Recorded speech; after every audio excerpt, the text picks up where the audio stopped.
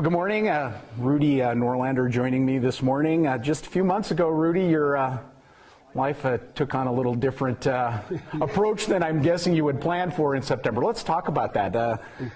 Let, let's let's go let's let's go into that a little bit if you can. The day of the attack? Yeah. Well, I rented some side-by-sides to a father's son for opening week of bow season. And they had had a mechanical issue with the machine. And he called me and said, hey, could we swap out the machine with the one that they had the first couple of days? Because he actually had two sons out within the first weekend. Mm-hmm. The youngest was 10, I think. So it would have been pretty traumatic if he would have still been there. He went home. But I went and swapped the machines, and he's like, "Yeah, my son wounded a nice buck yesterday and lost his trail." I said, "Well, back in my young days, I used to be a hunting fishing guide." I said, "So I'm a pretty good tracker. I can come out tomorrow and help you if you want." And he's like, "Sure." So they were camping kind of up on the mountain. So I texted him and I left, and I said, "I'm on my way up." And he said, "Well, we the side by side on the trail." So I just ran up the trail till I saw the side by side, and he had texted me a pin drop. And I, once I got to the side by side, I said, "I'm here. Is the pin drop where you shot the deer, where your camp is, or where you are?" Mm-hmm. And of course, with cell service and whatever, I didn't get his text back for quite a while. So I started heading down the trail because I could tell it was north of this trail and west of this trail. Mm-hmm. So I started heading down Yellow Mule Trail. I get about a mile or so down there, and I get his text, and he says, "Oh, that's where we shot the duck yesterday." And uh, he said it's easier to come down the ridge than hike down the trail because then you don't have to mess with the cliff. Mm-hmm. It's like crap. I'm already past the first cliff. Right. And there's two cliffs on that ridge line, so it's like, well, I'm going to shoot up through the trees right here between the two cliffs and get to the ridge and kind of wait till he tells me whether I'm going up or down. And I got probably maybe 100 feet into the tree line, and I jumped a small grizzly there, probably his first year out on his own. And he took off like a shot. And I immediately pulled out my pistol at that point. And uh, from that moment on, I'm looking all around me, and I got my pistol in my hand, and I've been shadowed and stalked by bears before in my life, so I was looking constantly around, and and uh, I hiked up the ridge and over to the next ridge because I could hear some crows circling and congregating and squawking. So I hiked over to the next ridge and hiked down to where I jumped the first there.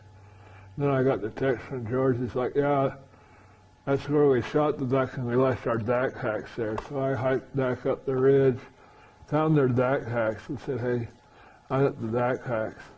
He said, well, just stay there. I'll send my son to come get you. We're only five minutes away.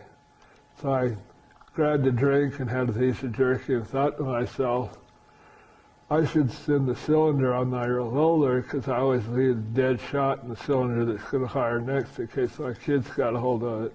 Mm-hmm. So I spun the cylinder and walked over George, the son came Lord, and we walked over to where George was. And he was actually sitting on a hillside right under the ridge that I just walked past, watching the same crows I went to look at. And we couldn't see where they were landing because the woods were so thick. And uh, we said, well, we'll kind of do like they do on the movies or TV when they're looking for a body or whatever. Kind of spread out so we could see everybody cover our country. Mm-hmm. I was up on the hillside. The father was in the middle and the son was on the bottom.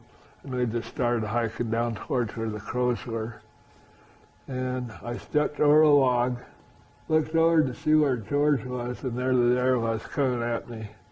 Hmm. And the only thing I had time to do was lift up my gun and fire. And I then discovered that I just automatically put it back to the same bullet, so it misfired, and then he was on me. Right. And I know his fist or his nose is about the same size as my fist. And I got a bite mark there and a bite mark there, I assume that's when I take a swing at his nose. That's one of my their defenses. If you ever hit a dog in the nose, you know it Right. makes them sneeze or whatever. So that's always been one one of my tactics to use it in their attack was to try and punch him in the nose. Whether I connected or not, I don't know. Next thing I know, he had me by the jaw. He picked me up off the ground by my jaw. And I could see George running towards me, and I said, Help me. And then he clamped down and broke my jaw. Mm-hmm. I got a tooth on this side and a tooth on that side on the bottom. The rest of it's gone. And at that point, I think he lost grip with me and I fell down. Mm. I don't remember the next few seconds, but he stepped on my chest. And he was heavy enough, it was unallowed to collapse my chest. And then he bit my leg. Hmm. And uh, George and his son were throwing rocks and sticks at him and yelling at him, and he finally ran off. Now, that was September. September. Here we are, middle to the end of February. What, uh, what has been going on in your world since then? I would imagine you've spent some time with doctors and, and that I kind of spent five weeks in the hospital in Utah. Mm-hmm. Um, they flew me first from the site to the Yellowstone Club, Mm-hmm. from the Yellowstone Club to the Dawson Hospital. They did a tracheotomy and a chest tube and, mm-hmm. and flew me to Salt Lake.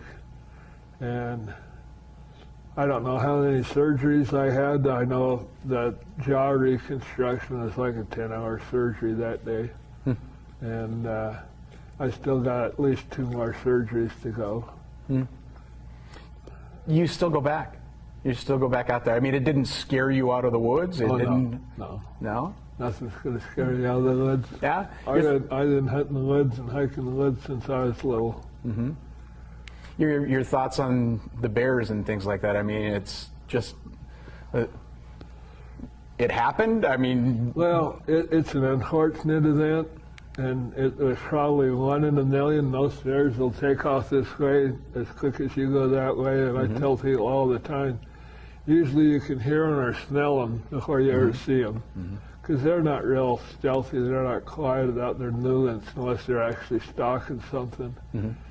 That hindsight, you know, the way the little bear reacted and the way the big bear reacted, I guarantee it that anytime that big bear was going away from his food cache, that little bear was jumping in. And so the little was used to being chased off, and the big was used to chasing something out of there. right. And so that's probably the main reason that that interaction happened so quickly because mm-hmm.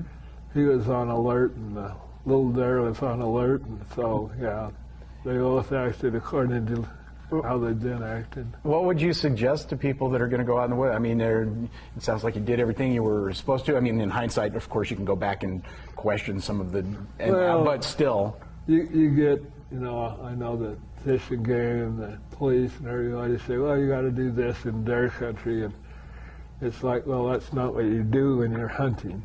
Mm-hmm. You don't want the wind in your face, mm-hmm. or you want the wind in your face, and you don't want to make noise because you don't want to jump a wounded animal and make them run. So those two aspects don't apply. And people say, well, you should have had bear spray. I did have bear spray. It was right in front of my holster. Mm-hmm. And I wouldn't even have had time to probably get my gun out of the holster if I would have had it holstered. The mm-hmm. only reason I even got one chance of a shot was because I already had it in my hand. right? Yeah.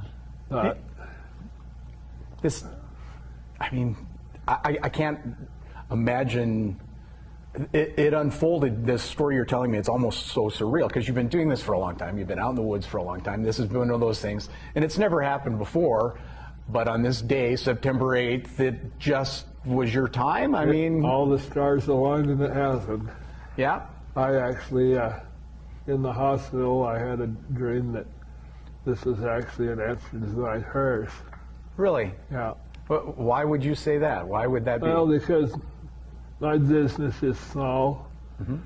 and some years I wonder whether I'm going to make it to the next season or not. So mm-hmm. I've been praying to God to, that He knows that my business is good. It gets people out, it brings families together. So He knows that what I do is a good job, mm-hmm. and I prayed and said, you know, if you want me to keep doing this, I need help financially, and I expected, you know, to win the lottery or sweepstakes. I didn't I am there.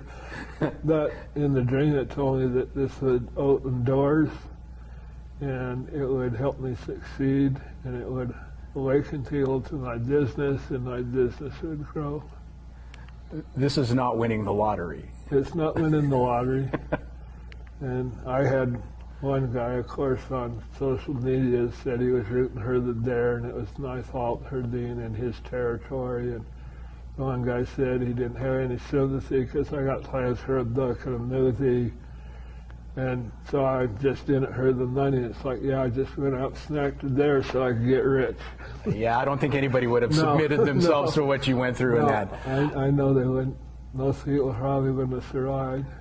You, you, you feel okay now, though. I mean, Yep. other than you say you have some more doctor's visits and some Yeah. things like that. I, I still have numbness here and there, and I still have some surgery and some dental work to do. That mm-hmm. if it wasn't for this, I would have been out of the hospital and back at it within a week. Right? But then I wouldn't be famous either. I would have just been another dare tax survivor. Right?